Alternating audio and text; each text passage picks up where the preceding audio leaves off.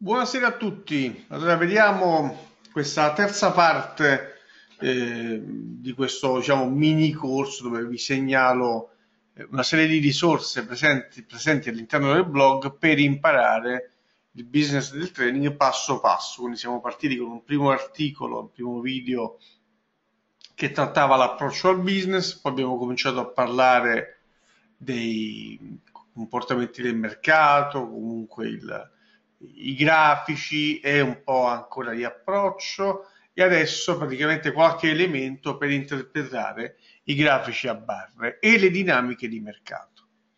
Il mercato praticamente si interpreta attraverso un grafico a barre che indica i comportamenti semplici e complessi del mercato. Comportamenti semplici si rilevano attraverso i comportamenti delle singole barre, comportamenti complessi attraverso l'interpretazione di schemi di prezzo che indicano fasi di azione, quindi determinate fasi di azione che producono solitamente delle reazioni che in parte sono note. Ok? Il punto qual è? Che alla base di tutto questo ci deve essere una gestione efficace, quindi non come spiega Van Tarp, abbiamo parlato anche nella sessione precedente, dobbiamo puntare non tanto sulle nostre capacità previsionali, ma sulle nostre capacità gestionali, ok? Perché mai nessuno riesce a sviluppare delle strategie di trading che guadagnano sempre, come non è possibile per un'azienda portare avanti la propria attività senza avere le spese, ok? È naturale gestire le spese in qualunque attività e quindi è naturale anche un'attività di trading, quindi partire con l'idea di costruire un'attività che deve solo guadagnare chiaramente è una sciocchezza infinita, insomma. ok? Soltanto una persona ingenua può pensare una simile sciocchezza.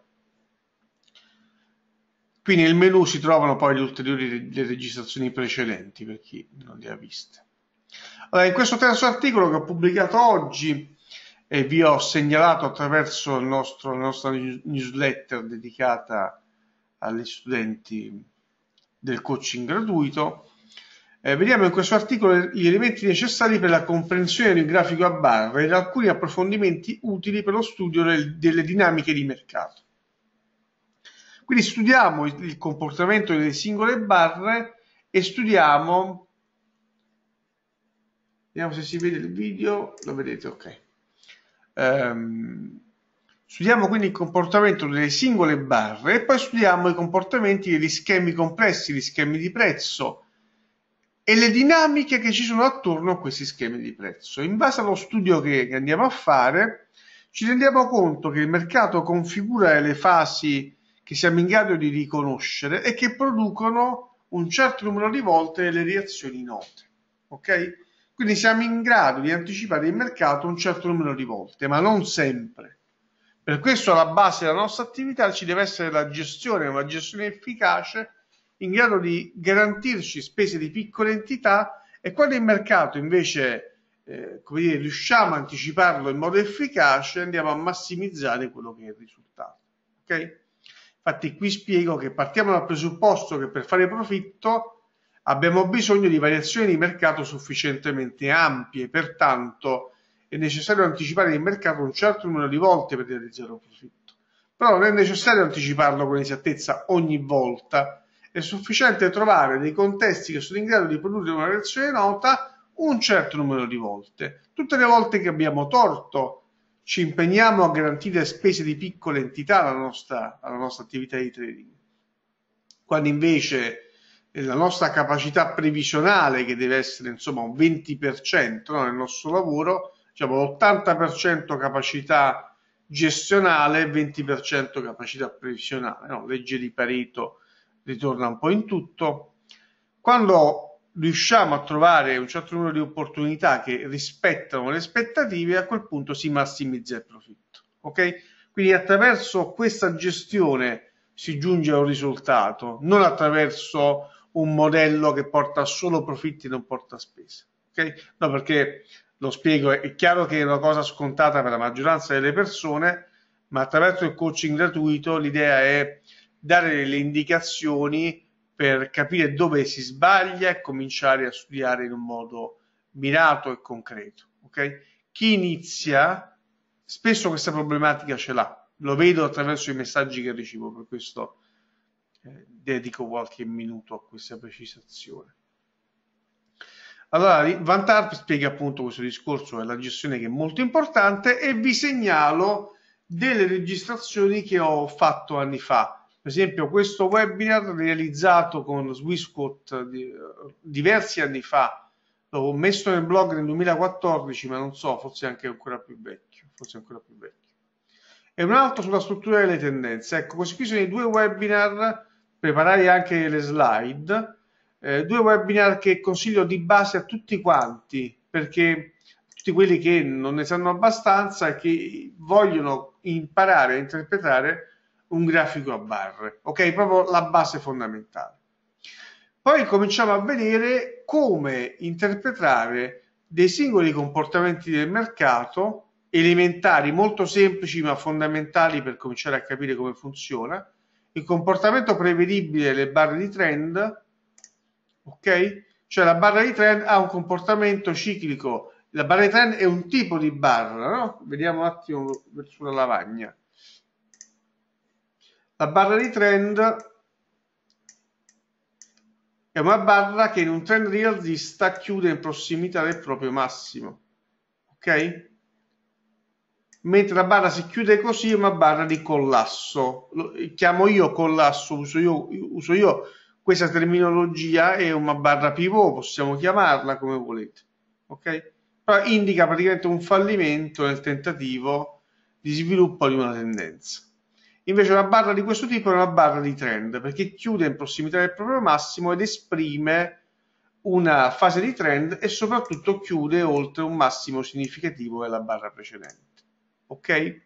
Le barre di trend tendono a configurare dei comportamenti ciclici, ciclici e ripetitivi e ne parlo praticamente eh, in questi articoli.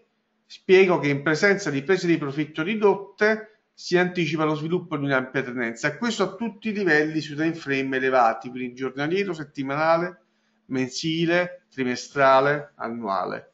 Ok? Su time frame intraday, per esempio, queste dinamiche sono leggermente diverse e quindi questa spiegazione non rientra adesso nell'ambito intraday che è una, fa, è una, rientra in una spiegazione a parte insomma ecco. ok però partiamo da quello che avviene nell'ambito giornaliero settimanale mensile che è quello che poi ci serve anche per giungere poi a un'attività intraday ok poi abbiamo la teoria eh, il segmento dura 2,5 barre che significa che ogni volta che si sviluppa una tendenza, il, la parte di trend che è sviluppata dalle barre di trend dura solitamente dalle 2 alle 5 barre, poi inizia un collasso e inizia una fase correttiva e poi nuovamente, ok? Quindi questo ci serve, è una, è una, una spiegazione molto molto semplificata di una teoria più ampia, ok? Eh, però serve per capire quando una tendenza è in fase di esaurimento o è all'inizio del proprio sviluppo, quindi definire già con questa informazione una prospettiva. Ok, io guardo una, una tendenza che ha già tre barre di trend, guardo i segmenti di trend precedenti, mi rendo già conto che quella tendenza sta giungendo al termine, mi devo aspettare una fase correttiva. Ok, quando opero devo sempre evitare di subire una fase correttiva perché le fasi correttive si muovono velocemente e quindi mi portano via la maggior parte del profitto se prima ne ho accumulato un po'. Ok? Quindi devo imparare a rilevare questi comportamenti, molto importante. La teoria di Do. Passo successivo, ve li metto in ordine proprio per darvi delle indicazioni come le tendenze si sviluppano ed è diciamo, la, la base sul quale ha lavorato Elliott per sviluppare la teoria delle onde di Elliott, che è molto più ampia e molto più eh, molto interessante, insomma, ecco. molto più completa, ecco il termine giusto. Ok? Quindi come si sviluppano le tendenze, il comportamento delle barre, ancora di più si può ampliare il discorso studiando come rilevare massimi e minimi di breve, medio e lungo termine li metto in quest'ordine proprio per darvi le indicazioni su come, per come studiare queste cose. Eh, a, negli articoli ci sono anche delle, delle, delle indicazioni sui libri, quindi questo argomento potete studiarlo su quel libro piuttosto che su quell'altro. Io l'ho preso, ok, vi, vi indico dove l'ho preso e da dove sono partito per fare le mie elaborazioni. Un articolo sulle onde di Elliott, quindi un passettino ancora avanti per um, comprendere il comportamento delle tendenze, ok? E poi unire tutto quanto praticamente mano a mano che si va avanti. Eh, ancora un altro, un altro, contenuto che vi consiglio, come interpretare un grafico a barre per capire la direzione della liquidità. Ecco, questi, questi articoli qua, se voi ve li mettete a studiare, vi danno un ottimo punto di riferimento per cominciare a capire come si leggono i, grafici a, i grafici a barre, come si individuano le tendenze, come si strutturano le tendenze, ok? E tutto questo serve per cominciare a parlare di dinamiche di mercato, perché ne parliamo di dinamiche di mercato studiando il comportamento prevedibile della barra di trend, ma c'è molto altro da dire. Facendo questa preparazione durante la prossima sessione, noi parleremo in modo specifico di schemi di prezzo e di dinamiche di mercato ripetitive, cioè come individuare delle fasi di mercato che sono rilevabili e studiare il comportamento che c'è attorno. Sulla base di questo lavoro che andiamo a fare, in pratica possiamo poi definire dei piani di trading che lavorano attorno a quelle dinamiche di mercato ripetitive, cioè io vedo una cosa, so quella cosa che cosa è in grado di produrre, ok? Può produrre un ventaglio di possibilità, attorno a quel ventaglio di possibilità io scrivo un piano di trading che prevede delle regole per garantirmi delle spese di piccola entità ogni volta che il mercato non si comporta bene, mentre ogni volta, scusate, che si comporta bene, eh, riuscirò a massimizzare praticamente il profitto. Tutto parte dallo studio del mercato, dallo studio degli schemi e delle dinamiche di mercato che sono ripetitive attorno a questi schemi. Ok? Questo è, è il, diciamo, quello che volevo aggiungere rispetto all'articolo. Eh, c'è insomma parecchio materiale da lavorare, da studiare attorno appunto nel blog. Io ho pubblicato negli anni tanto materiale. Eh, questi articoli e questi video mi aiutano praticamente a darvi delle indicazioni per utilizzare il materiale in modo più mirato, in ordine, ok, più preciso per, per eh, metterne a frutto, insomma, eh, i vantaggi che ne possono derivare. Ok? Ragazzi, io vi auguro oh, buone feste. Fate buone feste. Settimana prossima non credo che faremo la tendenza perché siamo in area di festa e anche la settimana successiva dai, dal, dopo la Befana riprenderemo le nostre sessioni settimanali e riprenderemo insomma a pieno regime vi darò eh, un po' ancora elementi per continuare. Parleremo in, modo particolare di schemi di prezzo e dinamiche di mercato come vi ho spiegato con l'intento poi di darvi ulteriori indicazioni per creare dei piani di trading eh, più semplici. Ecco per, per entrare in quel binario Ecco, lo stesso binario che ho seguito io per cominciare a mettere in ordine la mia attività. Ok? E quindi per questo parto dal presupposto che possono essere utili queste informazioni perché a me sono state utili. Ok? Ragazzi, io vi auguro buona serata e fate ottime feste. Ciao a tutti.